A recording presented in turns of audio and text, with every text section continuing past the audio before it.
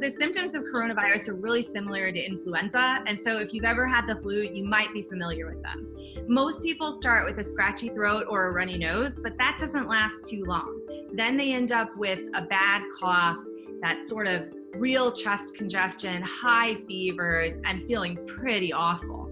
Now, some people don't get that sick. Some people have a runny nose and then they have this really weird symptom called anosmia. And this is the one that's been causing all sorts of crazy things on the internet. It's the lack of the ability to smell. If you've ever tried to taste food without actually smelling it, you'll learn that a lot of your taste comes from smell. Some patients are presenting with abdominal pain and diarrhea. Some people have pretty significant vomiting. Some patients early on have mostly abdominal pain and just not feeling well with a fever, and then don't develop the cough until later. Once you get symptoms, those in 80% of people will last for about seven days. At the end of a week, most people are starting to feel better and doing well. Unfortunately, about 20% of people go on to actually get worse at the end of that week and end up in a hospital.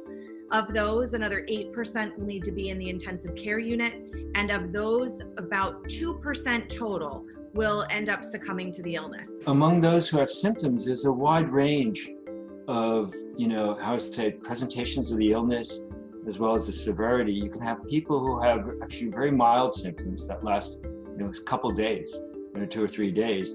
And then you have other people who can get really quite sick and they can be in, you know, go to the intensive care unit and, and have illness or be, you know, there for a month or more. I wish I knew more about how long people were actually contagious. We know a lot about the fact that they can be contagious a few days before they even show symptoms, and some people never really have much in the way of symptoms but can definitely pass on the virus. What we don't know is really how long they remain contagious. We're pretty sure that it's safe for you to be around other people when you don't have any symptoms for three full days. That's the rule of thumb that we use with our healthcare workers and with our patients. As long as a week has passed from when you first started to feel sick, and three full days of feeling completely well. That's no more cough, no more fever, doing fine for at least three days.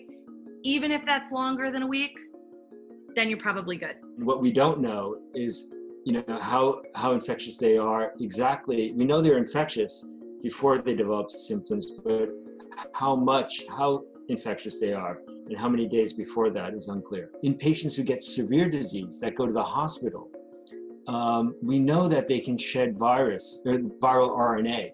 You know, you can detect, you know, that those nucleic acids of the virus up to 20 days and longer, and up to 20, 21 days.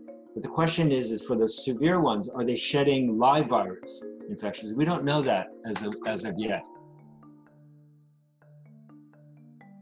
There are certain specific risk factors that are associated with getting ill, you know, ill enough to go to the hospital. The elderly, um, it's we have very rare cases of children or infants or young adults who go you know need to go to the hospital. Almost the majority are people over 60 years of age and uh, 60, 70, 80 years of age. People with underlying um, conditions such as cardiovascular disease, uh, lung disease like chronic, uh, chronic obstructive pulmonary disease. This is a disease that happens when people smoke. Um, you know, for many years, uh, people with underlying malignancies, so people who are conceivably immunocompromised, as well as um, yeah, as well as diabetes. You know, people with underlying diabetes.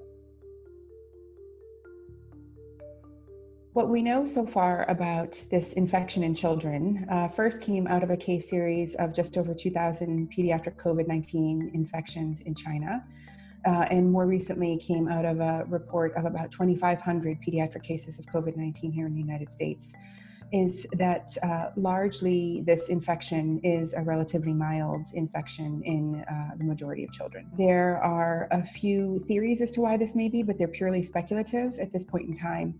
Um, one of the theories would be that um, the more severe illness seems to largely be driven by a very robust inflammatory and immune response in the airways of patients infected with this virus.